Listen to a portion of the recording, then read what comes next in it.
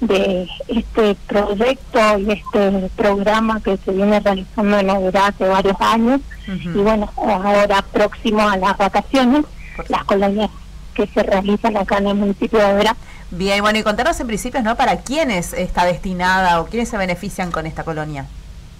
Eh, la colonia eh, son para los chicos que eh, en los barrios, de los, los distintos barrios de acá de la ciudad de Oberá, eh, durante los meses de enero y febrero, en la semana concurren dos grupos de casi 100 chicos en total por barrio son que se inscriben en, en el área de desarrollo humano en la municipalidad junto a la comisión ahora que tenemos de la organización de las comisiones vecinales.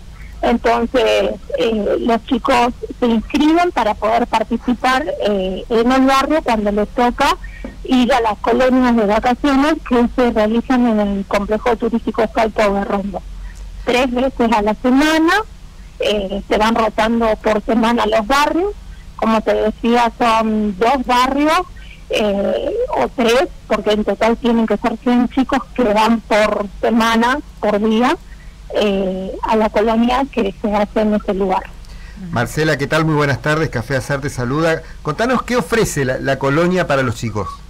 Bien, la colonia es un trabajo integrado con distintas áreas de la municipalidad, eh, desde la logística del traslado, digamos, que es por parte del municipio también, eh, se los lleva al, Salto de Rondo con los profesores de educación física, eh, se trabaja en deporte y actividades recreativas de natación y como les decía tenemos integrados con áreas de, otras áreas de la municipalidad, por ejemplo niñez, eh, la de prevención de adicciones, eh, salud, y comedor municipal que ofrecen también otras actividades como para eh, complementar toda la parte de el desarrollo, digamos, integral que buscamos del chico en estas colonias. Entonces, eh, le proponen talleres de eh, talleres de capacitación, por ejemplo, la de salud,